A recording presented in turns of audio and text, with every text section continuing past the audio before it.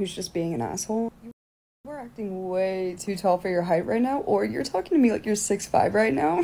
I know I keep like dogging on the height thing, but like, do men not shit on us for like our weight, our looks, like literally 24 7 by shoot? This is something that I've definitely, definitely noticed.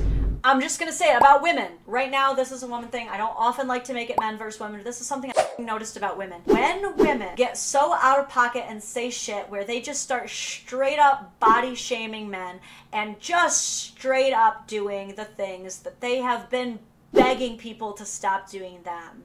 As soon as they're called out on it, they cannot give any other excuse, validation, or reason for it beyond, well, they us. You will never hear them have another reasoning for it. That's the only thing they have. She's already prefaced it by telling us delusional, so we can't be mad at her when she acts delusional because she already told us she was going to act that way. But it is delusional. It is delusional to be like, God, I hate being body shamed. I hate being made fun of for being fat. I hate be- feeling like I'm not pretty enough. This is literally ruining women's lives and giving us eating disorders and making us so miserable. But I'm to do it to men because they did it to us first. You should recognize this as having been raised by a therapist is that this is called the cycle of abuse. You are perpetuating the cycle of abuse. And what that means is that you're perpetuating that against other women. You don't get to just be abusive and demonstrate the same cyclical abusive patterns, but because it's only at men, the only negative outcomes will be for men. That's not how it works. The domino plays out and women get knocked down with it. Good lord! Shoe inserts. I don't know what to tell you. This will definitely bother him though, like 100%. I, I like the second one a lot. The next one was like a top comment on, I think, my last video, and it just made me giggle. Your perfume smells so sweet. This is gonna irk them for two reasons. Number one, the feminine verbiage again of saying that it smells sweet. Number two, they're gonna Regina George, are you proud that you are the high school mean girl? This is the stereotypical girl, like almost single handedly ruined so many people from a young age. Here she is. I correct you immediately and be like, perfume? I wear cologne. This one is you look like you would be allergic to peanuts. I feel like this goes along with like the water shoes one. I- you look like you would be allergic to peanuts? The galaxy brained insults that the most genius female brains of the world have managed to come up with is shaming people for deadly allergies. Come on, man. I did. Also telling them that they look like they would have had like the rolling like book bags in like high school would like also be funny. This next Wait, what was wrong with what's wrong with the rolling book bags? That's you just described luggages. Do you think that everyone in an airport is a loser? Why is she so dumb? This one is by far one of my favorites. Casually remind them that they can get Botox or PRP to help stimulate hair growth and help their hairline. Easy comeback. How do you know that? Why do you know that? Is that why you're getting Botox? You're just telling on yourself here. I, you think this is silly, but I would have never known that if you didn't tell me that. Now I have to wonder why you know that. And you've just revealed that you're the type of person who is going to be a $300 every three months detriment to the family finances. This is another one that just needs to kind of be done randomly, just like a straight up verbal attack. They will think about this for at least eight business days. The last one for today is kind of situational, like it's very specific. So let's say that you were like in a situationship and then the talk of a relationship comes up and he says the phrase, Oh, like I'm not really looking to be in a relationship right now. Jackpot. You're going to Uno flip and reverse his ass, okay? You're gonna say, Oh, I already know what she's gonna say. I already know what she's gonna say because she what she's just described as you're going to wait until you're about to be rejected, and this is when you get mean.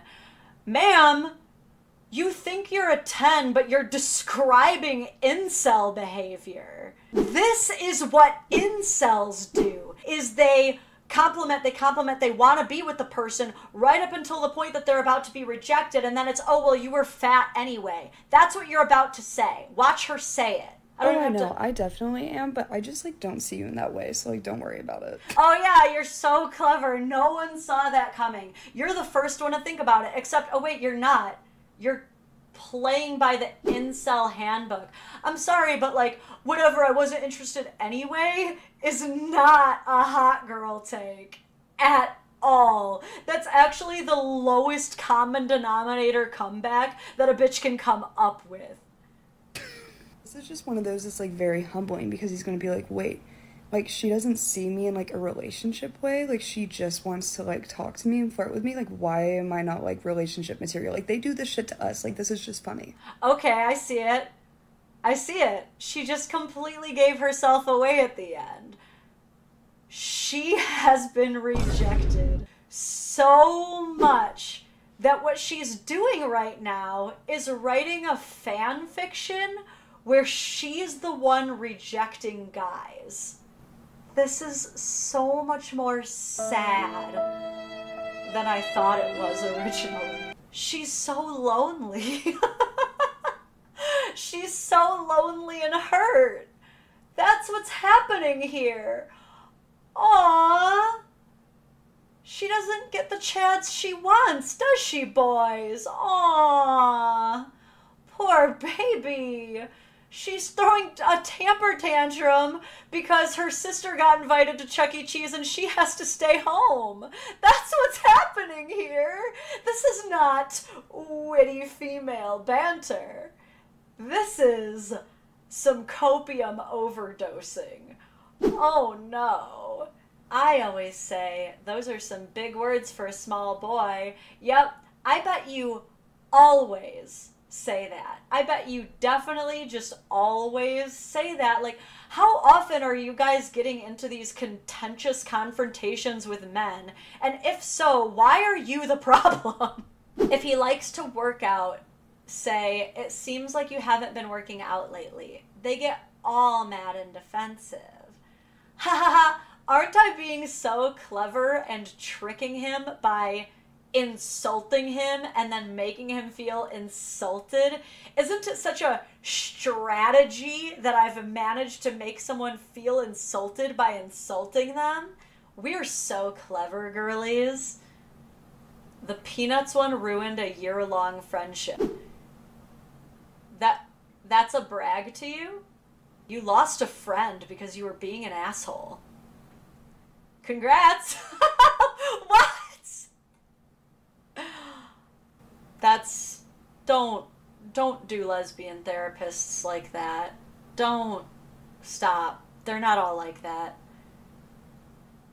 LMAO, my 16 year old daughter likes to tell her boyfriend, looks like you're having big feelings right now. Mm, God damn it. How, how much do you want to bet that the 16 year old's being raised by a single mom?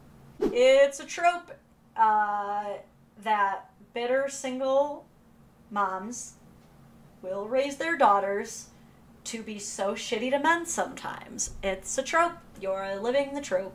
Great.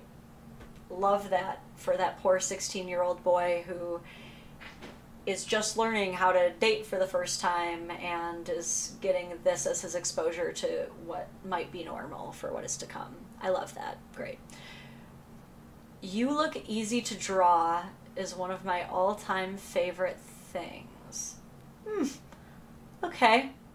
What do I say to him if he's short in height and length? Literally just say that alone. I don't know. What do I say to a woman who's fat and ugly? I, I don't know, man. I just have a feeling like if I were to make a video saying, hey guys, here's what to say to women who are both shitty and ugly. Here's how to play on their immutable, unchangeable genetic characteristics that will make them deeply insecure for the rest of their lives. And it's justifiable because they did something that I didn't like, which so far, from the context, the worst thing that the man has done via the context she's provided is express to her that he's not interested in dating her. And apparently, that in and of itself is enough to crucify him mentally and emotionally. That makes him a bad man. Add that to the list of things men can't do. Reject women. Actually, rejecting women is like at the top of the list of things men can't do, I think. I think that there are very few things that a man can do less than reject a woman. It goes, okay, so things men can't do. I know hobbies is up there. Hobbies is really high up there. Um, but definitely rejecting women, not finding a woman attractive is probably number two. Hobbies is probably three, but it goes things men can't do, rejecting women, not finding any woman attractive, um, unless you're in a relationship, and then then it becomes way more nuanced and complicated. Then you start entering like a pie chart, and it goes like, well, is the celebrity about to be someone that she compares her own attraction level to? Because it may be something like, do you find Heidi Klum attractive? But it's because she thinks she looks like Heidi Klum. You also have to read her mind and know that it's because she thinks she looks like Heidi Klum. Because if she thinks she looks like Heidi Klum, you have to say yes. Otherwise, you're saying that she's not attractive because she thinks she looks like Heidi Klum. But if she doesn't think she looks like Heidi Klum, you got to figure this out ahead of time. You can't ask on the spot. That's illegal. If she doesn't think she looks like Heidi Klum, then you have to say that Heidi Klum is unattractive because you're dating her. Does that make sense? I hope that we've all learned a lot about the best ways to treat people.